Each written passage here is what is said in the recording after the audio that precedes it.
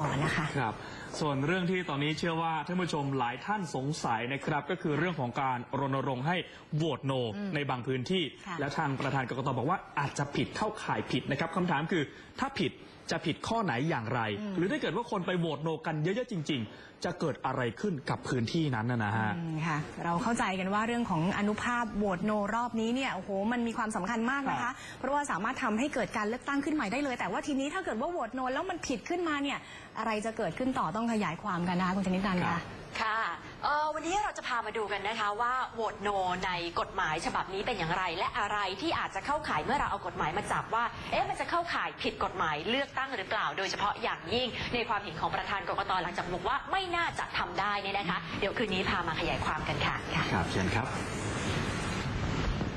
สวัสดีค่ะ คุณผู้ชมคะมาดูประเด็นเรื่องของโหวตโนที่กำลังเป็นประเด็นอยู่ณขณะนี้นะคะ ซึ่งจริงๆแล้วเนี่ยตามรัฐธรรมนูญฉบับปี 2560 แล้วเราจะเห็นได้ว่าประเด็นสำคัญของการเลือกตั้งตามระบบจัดสรรปันส่วนผสม ก็คือคะแนนทุกคะแนนจะไม่ตกน้ำนอกจากจะไปคำนวณเพื่อให้ได้สสบัญชีรายชื่อแล้วนะคะ อีกประเด็นหนึ่งที่สำคัญคือทุกคะแนน โดยเฉพาะโหวตโนไม่ตกน้ำเช่นเดียวกันค่ะ เราจะพาคุณผู้ชมนะคะมาดูความสำคัญของเรื่องของการโหวตโนค่ะ เนื่องจากว่าที่ผ่านมาเนี่ยนะคะ อาจจะมีการรณรงค์ให้มีการไปใช้สิทธิ์ออกเสียง โดยการไม่เป็นบัตรเสีย คือไม่ทำบัตรเสียไปโหวตโนซะอย่างจะดีกว่า พาคุณผู้ชมไปดูว่าโหวตโนอยู่ในช่องไหนของบัตรเลือกตั้งถ้าเราต้องไปลงคะแนนเสียงเลือกตั้งที่จะเกิดขึ้นไม่ว่าจะเป็นลงคะแนนล่วงหน้า หรือว่าลงคะแนนในวันที่ 24 มีนาคมนี้นะคะสำหรับบัตรเลือกตั้งจะเป็นลักษณะแบบนี้ค่ะ ถ้าคุณผู้ชมกาจะเลือกพักใดพักหนึ่งนะคะ หรือว่าอะไรก็จะดูจากหมายเลขดูจากโลโก้พักแล้วก็ดูจากชื่อพักการเมืองจะกาหมายเลขไหนก็แล้วแต่ค่ะ แต่ช่องโหวตโนนะคะ จะอยู่ด้านล่างขวาสุดของบัตรเลือกตั้งค่ะคุณผู้ชมคะถ้าเลื่อนลงไปแล้วพอหมดทุกพักแล้วเนี่ยนะคะ บัตรเลือกตั้งค่ะ จะมีช่องทำคะแนนโหวตโนอยู่ช่องล่างขวาสุด คือถ้าไม่ประสงค์จะเลือกใคร และทำให้บัตรเลือกตั้งไม่เป็นบัตรเสียกาที่ตรงนี้ค่ะคุณผู้ชมคะถ้า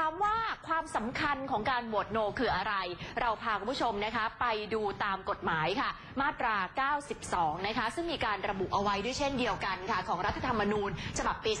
2560 นะคะ มีการพูดถึงเยอะแยะมากมาย แต่โดยรวมแล้วเนี่ยดิฉันขออนุญาตสรุปให้คุณผู้ชมฟังว่า คือกรณีว่าถ้าในเขตเลือกตั้งหนึ่งแล้วมีการ กาในช่องของโหวตโนมากกว่าคะแนนของผู้สมัครที่ได้คะแนนมากที่สุดในเขตนั้น สมมุติว่าผู้สมัครกอไก่ได้คะแนน 50,000 คะแนน แต่ว่าช่องโหวตโนได้คะแนนถึง 60,000 คะแนน แสดงว่ามากกว่าผู้ที่ไปที่มีที่ได้รับคะแนนสูงสุดในเขตในเขตนั้น นั่นหมายความว่าผู้สมัครทั้งหมดจะถูกโละทิ้งไปนะคะ แล้วก็ต้องมีการจัดการเลือกตั้งขึ้นใหม่ ซึ่งพอจัดการเลือกตั้งขึ้นใหม่เนี่ยผู้สมัครสมมติว่าในเขตนั้นมี 5 คน ทั้ง 5 คนที่เป็นผู้สมัครกอไก่ขอไข่คอควายงองูและจอจานไม่สามารถลงสมัครได้แล้วค่ะ จะต้องเป็นผู้สมัครชุดใหม่เท่านั้นนะคะและนี้ก็เป็นสิ่งใหม่ที่เกิดขึ้นตามรัฐธรรมนูญฉบับปี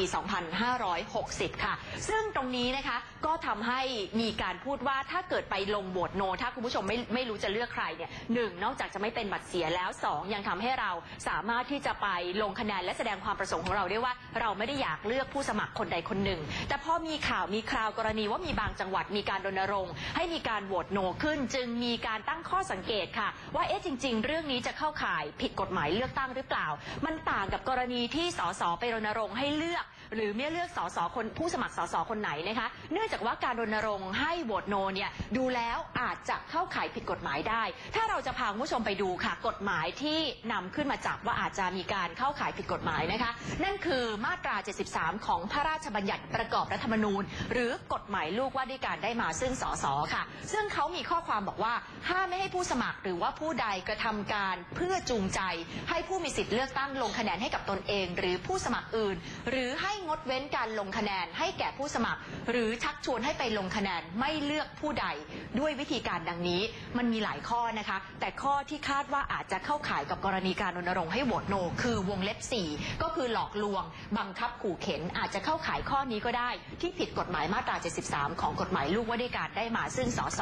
และเท่ากฎหมายฉบับนี้ค่ะ ไปประกอบกับคำพูดของประธานกกตท่านอิทธิพรบุญประคองนะคะ ที่บอกว่าเอ๊ะการรณรงค์โหวตโน ส่วนตัวประธานกกตบอกว่าคิดว่าไม่น่าจะทำได้เพราะมันอาจจะเข้าข่ายชักชวนจูงใจ หรือชี้นำก็เป็นได้เช่นเดียวกันนะคะ แต่ว่าเรื่องนี้ยังถือเป็นความเห็นส่วนตัว คราวนี้จึงเกิดคำถามขึ้นมาด้วยเช่นเดียวกันค่ะคุณผู้ชมคะว่าสุดท้ายแล้วถ้าเกิดมีการรณรงค์ขึ้นมาแบบนี้เนี่ยจะตีความอย่างไรสำหรับกกตที่เป็นผู้รักษากฎหมาย และต้องดูว่าผิดกฎหมายหรือไม่นะคะ เพราะอย่าลืมว่าที่ผ่านมาในอดีต ก็มีการรณรงค์ให้โหวตโนด้วยเช่นเดียวกัน เพื่อไม่ให้บัตรเสีย แต่คราวนี้จะเหมือนหรือต่างจากอดีตที่เคยรณรงค์บทหวตโน เพื่อไม่ให้บัตรเสียอย่างไร ขึ้นอยู่กับดุลพินิษของกกตค่ะ ทั้งสองท่านค่ะอืมเป็นหน้าที่ของกกคตรับนะคะ ต้องรีบออกมาให้ความชัดเจนให้เร็วที่สุดอะก่อนค่ะที่ แต่ละพักจะเอากลยุทธ์นี้ไปใช้ในการรณรงค์ในหลายพื้นที่ไม่งั้นครับความผิดมันจะเกิดขึ้นแน่นอนนะคะ ค่ะหรือไม่ถ้างั้นนะคะค่ะก็คือไม่มีการรณรงค์ให้เป็นข่าวหรือว่าเป็นเรื่องที่โจงครึ่ม ค่ะ แต่ว่าอาจจะไปพูดกันส่วนตัวอันเนี้ยก็ไม่รู้เหมือนกัน ครับ เป็นสิทธิของประชาชนเนาะที่จะค่ะ เลือกยังไงก็แล้วแต่ขอบคุณมากค่ะขอบคุณค่ะ ประเด็น